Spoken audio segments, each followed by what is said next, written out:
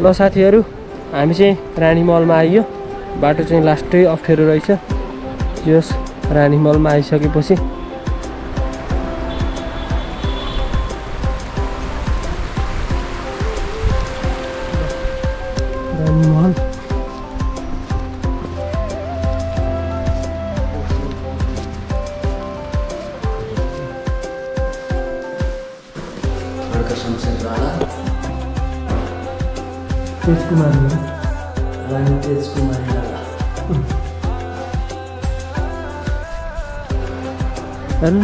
न फुल नटिपिदिनु रहेछ क्या फुल एउटा पनि रहेन। रानी महल चाहिँ राम्रो चाहिँ धेरै राम्रो रहेछ तर यसमा चाहिँ कलरहरू गर्न एकदमै जरुरी देखियो। रानी महलमा चाहिँ अहिले घुम्न आउने मान्छेहरूको चाहिँ भिडै लाग्ने रहेछ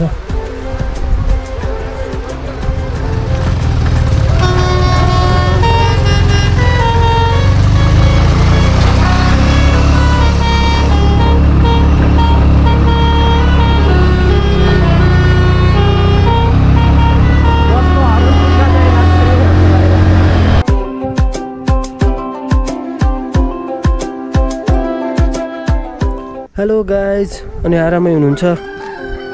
आज हामी चाहिँ पाल्पाको रानी महलको भिडियो बनाउन जाँदैछौँ।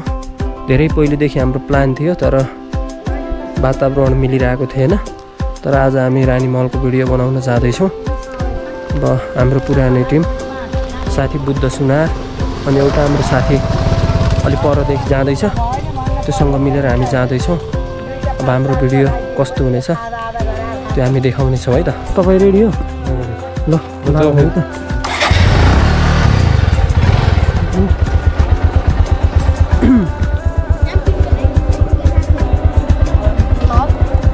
ल जा सब्सक्राइब गर है क्या के हो आइडी सबैले सब्सक्राइब गर है ओके अब चाहिँ हाम्रो यात्रा सुरु भइसक्यो घरदेखि अब हामी बाटोको सानो सानो क्लिप देखाउँछौँ र रानी महलको तपाईँहरूलाई दृश्य देखाउँछौँ हामी चाहिँ यहाँ पौवामा आइसक्यौँ। र हाम्रो साथी शङ्कर पनि जाँदैछ। त्यसैले हामी एकैछिन त्यसलाई वेट गर्दैछौँ।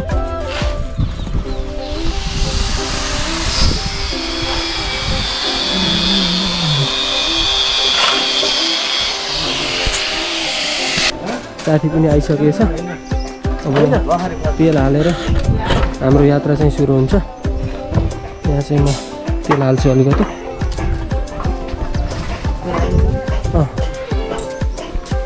हजुर।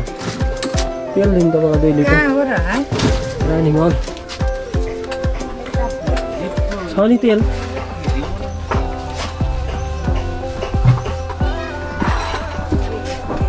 मलाई मलाई तेलै छैन।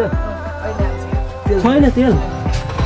ल जहिले आउँदा पनि तेलै हुन्न के भएको यस्तो।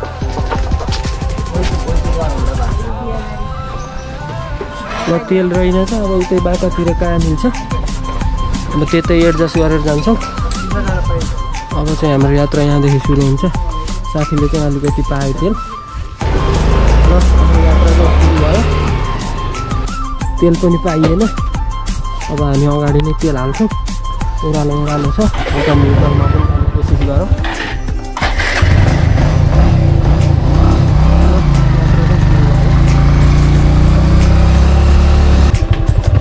चाहिँ नाम्दी खोलाबाट क्रस गर्न लाग्दैछौँ रानी मलको बाटोतर्फ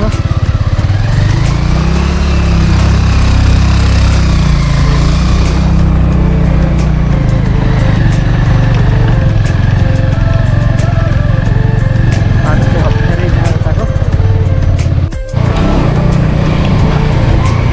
अनि चाहिँ नाम्दी आयो नाम्दीदेखि यता चाहिँ दार्जिलिङ जाने बाटो यतातर्फ कतादेखि हुन्छ सजिलो? मलाई चाहिँ थाहा छैन। दादा। रानी महललाई कहाँनिरबाट तल तल्लोबाट जाऊँ कि माथि तलैबाट जाऊँ? नै यहाँ यहाँ कहाँनिरबाट झर्ने सालगाडी सिमबाट ओल्लो ओल्लोमा रातो माटो तलतिर झर्नेमा सोरे हातो बाटो। ल ल ल सर धन्यवाद तेल पाउँछ र यहाँ। छ? तेल छ बाइकको। पेट्रोल ल पेट्रोल पनि हाल्नु पऱ्यो ल दुई लिटर ल्याउनु न।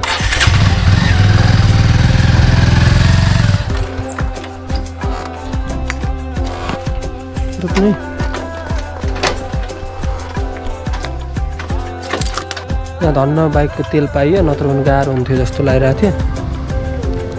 अब यहाँ हामी बाइकको तेल हालेर लाग्दैछौँ कति हो नि तेलको हामी चाहिँ अहिले यो शिखर डाँडाको बालज्योति प्राथमिक विद्यालयमा आयौँ यो रानी मल जाने बाटोमा अलिक कन्फ्युजन भयो हामीलाई। साथी पनि फर्स्टचोटि आएको रहेछ। त्यही भएर उसलाई पनि त्यति थाहा रहेनछ। यहाँ मान्छे पनि भेटिएको छैन कता बाटो हो। अब हामी पत्ता लगाएर जानुपर्छ। त्यो बाटो हिँडेको भए त थाहा हुन्थ्यो नि त। गाडी हिँडेकै थिएन। तिम्रो नाम पनि अगाडि जाउँ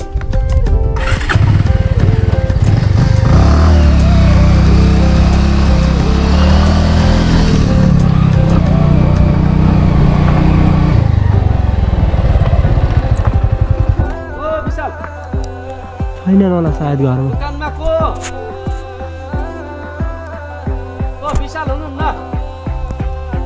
ओ भान्जा ओ रानी मल कताबाट हो र यही यही ठाडो हो। रानी मल जाने बाटोतिर हामी लाग्दैछौँ। बाटो चाहिँ यहाँदेखि ओह्रालै रहेछ। बाटो पनि सानसानो। कस्तो छ? हेर्दा त अप्ठ्यारै होला जस्तो लागिरहेको छ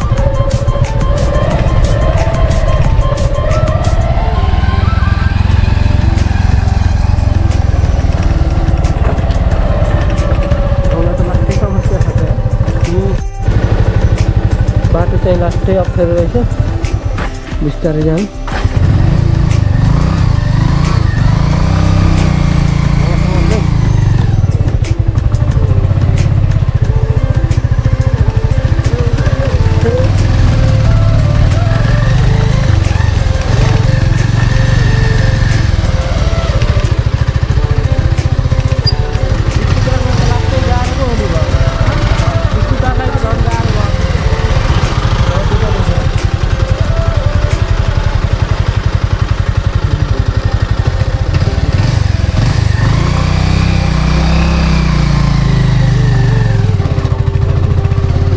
शिखर डाँडा बाटो अप्ठ्यारो ओह्रालो बाटो हुँदै हामी दैलातुङ भन्ने ठाउँमा पुग्यौँ।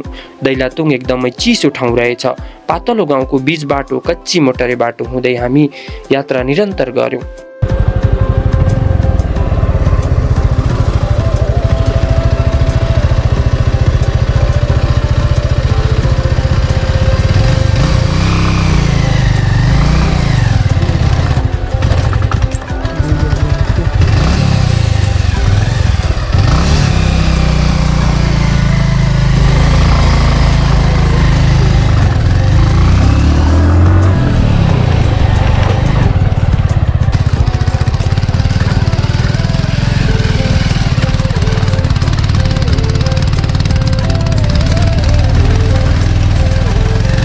कालीगण्डकी कोरिडोरको बाटो हुँदै हामी रानीमलतर्फ लाग्दै थियौँ। बाटोबाट कालीगण्डकी नदीको दृश्य एकदमै राम्रो देखिँदै थियो।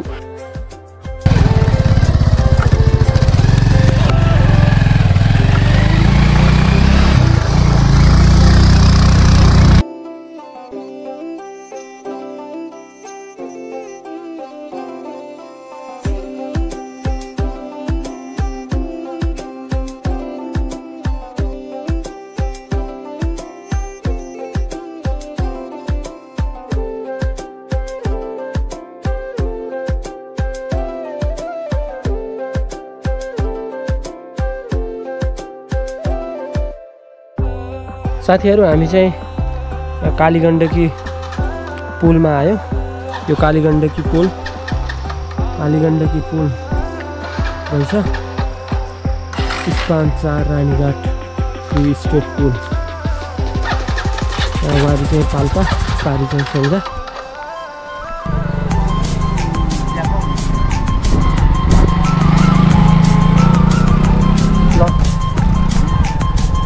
रानी मल पनि देखियो है त यो पुलदेखि देखिने रहेछ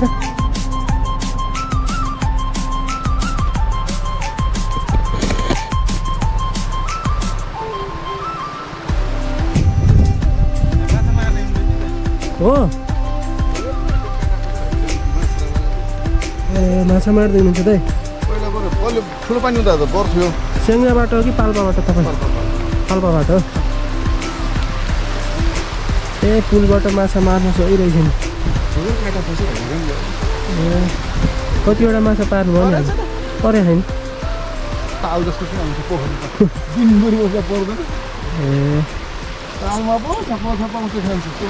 माछा ए परेको भए त हेर्नुहुन्थ्यो नि।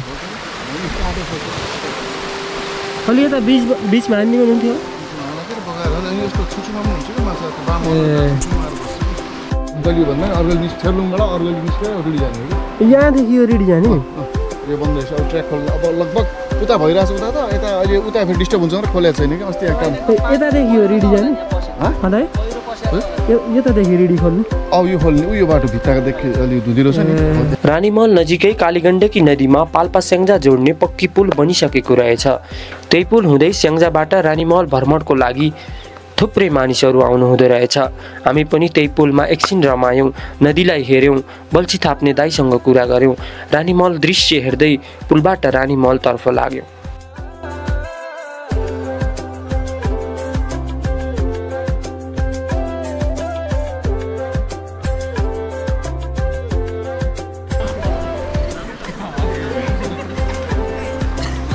चार्ज हो। कति किन सस्तो? नि त? ल अब चाहिँ हामी रानी महलमा जाँदैछौँ। यो चाहिँ पानसेनदेखि आउने बाटो रहेछ। यो चाहिँ पिच बाटो रहेछ। हामी चाहिँ यताको कच्ची बाटो आयौँ। बाटो लास्टै अप्ठ्यारो रहेछ तर सर्टकट पर्छ भनेर आइयो।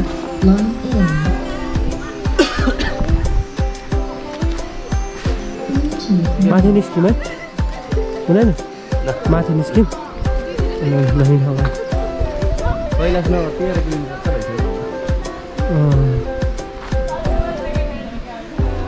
जाउँ न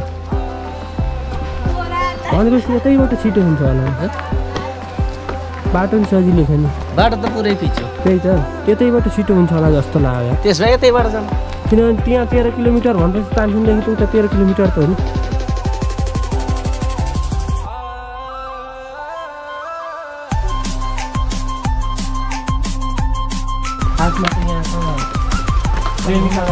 पर्ने छ तर हामी चाहिँ सुधा आदमी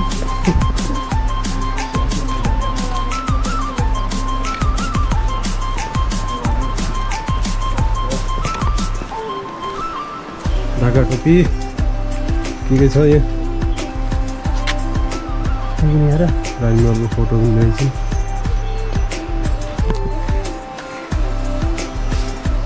दामी देखिएको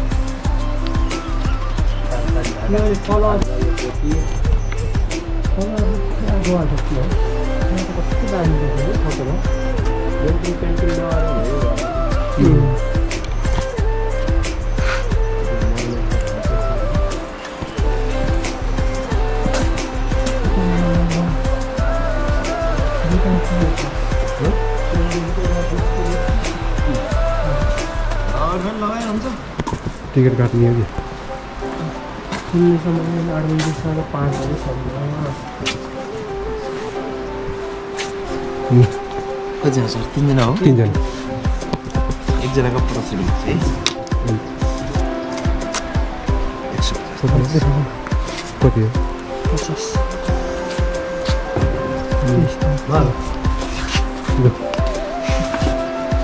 रानी महलमा चाहिँ प्रवेश गर्नको लागि चाहिँ टिकट सिस्टम रहेछ। अँ,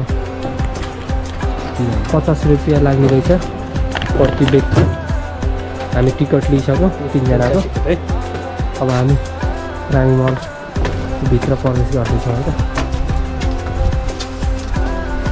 जाऊँ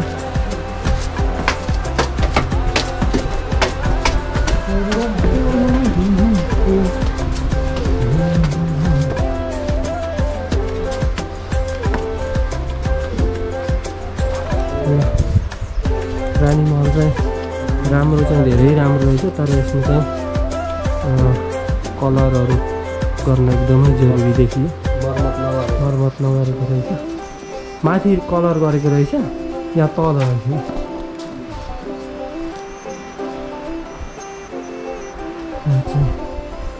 शिवलिङ्ग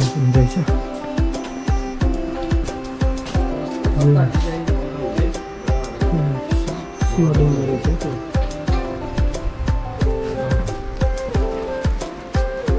यी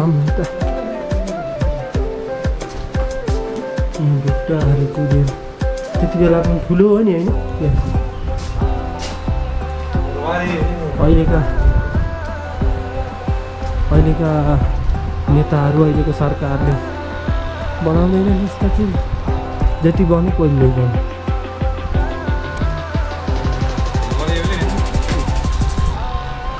हेर्नु। रानीको लागि कति प्यार रहेछ क्या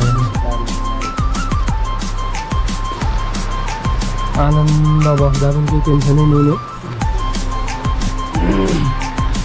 ऐतिहासिक र पुरातात्विक महत्त्व बोकेको रानी महल प्रदेश पाँच पाल्पा जिल्लाको सदरमुकाम तानसेनदेखि तेह्र किलोमिटर दूरीमा कालीगण्डकी नदीको किनारमा छ राणाकालीन समयमा पाल्पा गौडाका पश्चिम कमान्डर जनरल खड्का शमशेरले यसको निर्माण गराएका थिए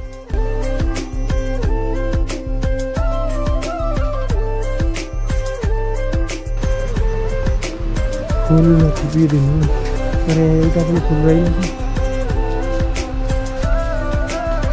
हेर्नु न यहाँ फुल नटिपिदिनु रहेछ क्या। फुल एउटा पनि रहेछ यो त खतरा छ नजानु यहाँ फेरि फुल नटिप्नु रहेछ फुल एउटा नि रहेनछ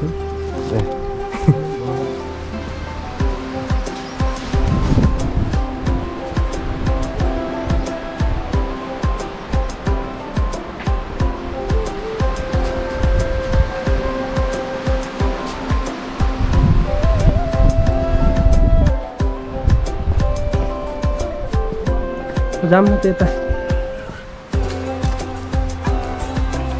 जान पानी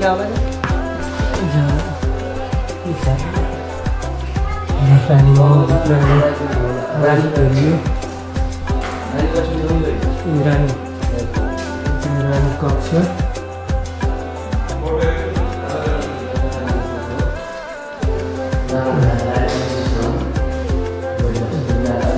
आफ्नी रानी तेजकुमारीको मृत्युको वियोगमा उनैको सम्झनामा जनरल खड्का शमशेरले विक्रम सम्मत उन्नाइस सय उनपचासमा सुरु गरी उन्नाइस सय चौन्न सालमा पाँच वर्षको अवधिमा यो महल निर्माण गराएका थिए।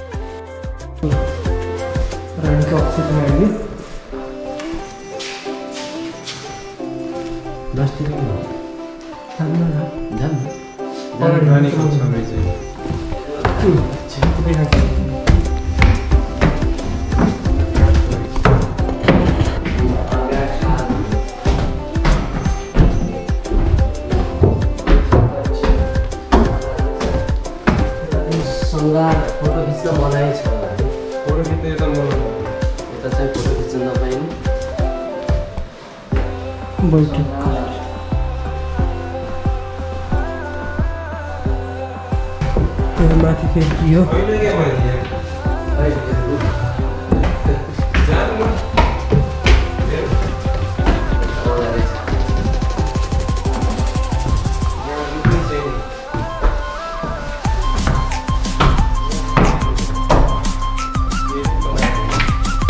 पहिला त खुब चोरी यहाँको सामान।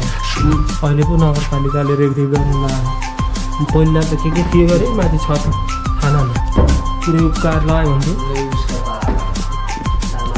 पितलका है जस्ता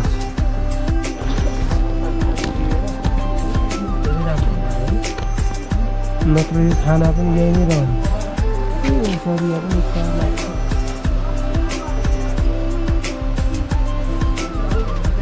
होइन लगभग यताका फोटो लियौँ कस्तो लाग्यो त अनि रानी महलको दर्शन पहिलोचोटि आयो यति नजिक भएर साह्रै रमाइलो लागेको छ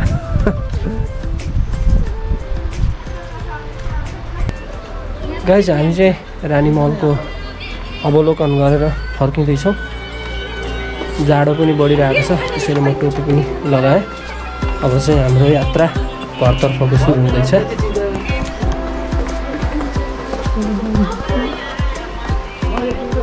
रानीमलमा चाहिँ अहिले घुम्न आउने मान्छेहरूको चाहिँ भिडै लागिरहेछ। रानीमललाई अहिले तानसेन नगरपालिकालाई हस्तान्तरण गरेको हुनाले यसको संरक्षण तानसेन नगरपालिकाले गर्छ।